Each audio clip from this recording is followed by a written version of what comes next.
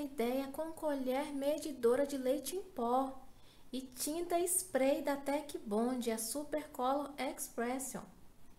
Vou agitar bem e aplicar em toda a peça. Eu usei a cor rosa quente, mas você pode utilizar a cor que você mais gosta. E aí você vai fazer peças decorativas para sua casa, para o seu ateliê. Também pode vender. Olha que lindo que ficou. Deixa aí o seu like, seu comentário, compartilhe o vídeo com as amigas. Em breve tem mais passo a passo com os produtos da Tec Bond. Um forte abraço. Tchau, tchau.